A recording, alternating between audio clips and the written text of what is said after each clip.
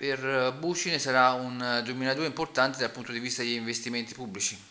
Sì, anche nel capoluogo sono previste eh, diverse opere pubbliche, alcune delle quali già finanziate e mi riferisco eh, fondamentalmente, principalmente all'adeguamento sismico del plesso scolastico, dell'intero plesso scolastico che è stato finanziato in due tranche per complessivi oltre 1.200.000 euro. Una parte già in corso di realizzazione e l'altra diciamo, in fase di, di, di aggiudicazione dei lavori.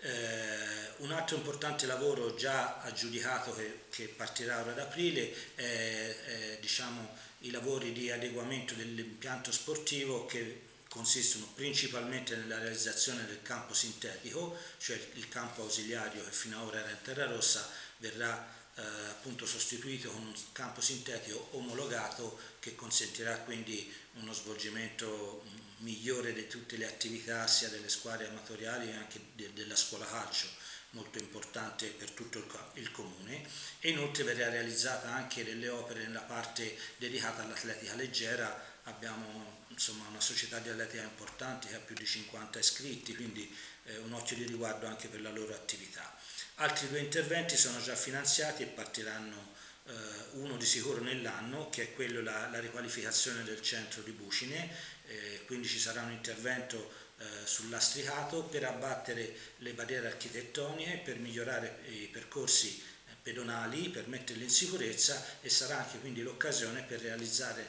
nella parte proprio centrale del paese un tratto di strada a senso unico.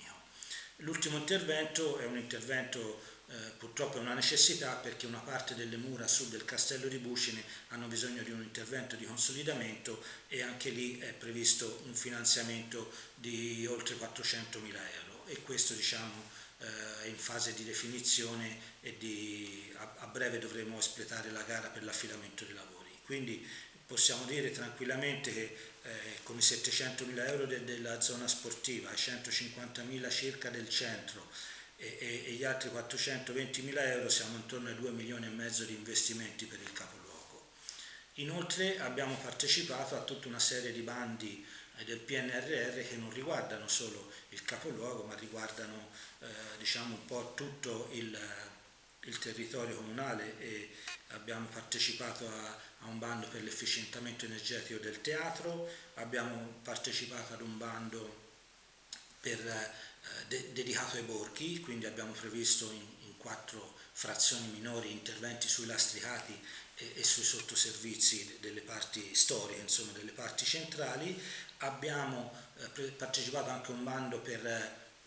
diciamo, il rifacimento della palestra scolastica di Bucine, che è una palestra che anche sotto l'aspetto sismico insomma, presenta gravi eh, carenze, quindi più che più che consolidare quella proviamo, se otteniamo il finanziamento, a realizzarla una ex, novo in un'area di nostra proprietà proprio adiacente alla scuola. E abbiamo anche presentato questo insieme a tutta la conferenza dei sindaci alla USL a, ai bandi, eh, quelli di, diciamo, di indirizzo sociosanitario eh, per la